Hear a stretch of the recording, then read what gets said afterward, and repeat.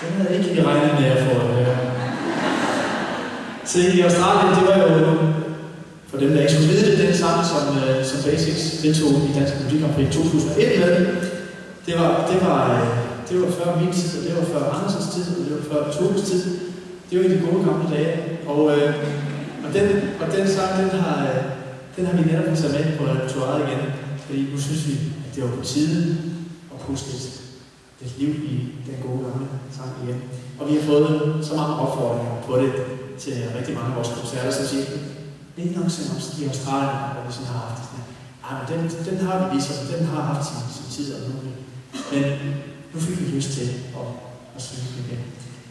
Så øh, tak fordi I tog så godt imod. Det var